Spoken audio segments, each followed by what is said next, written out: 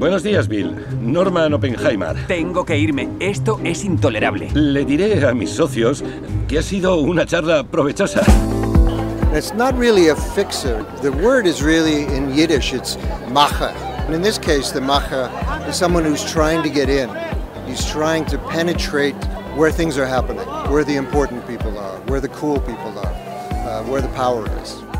¿Conoces a Norman Oppenheimer? No, pues no, alegra, encantado de es un placer saludarlo. conocerlo. And the fact that everyone is here, the kind of lending energy to this, you know, was publicized that this was going to help children in a cancer hospital. I, I mean, we're all in this together. That's great. Eres como un hombre que se ahoga y hace señas a un transatlántico. Pero yo nado bien. Sí. No olvides eso.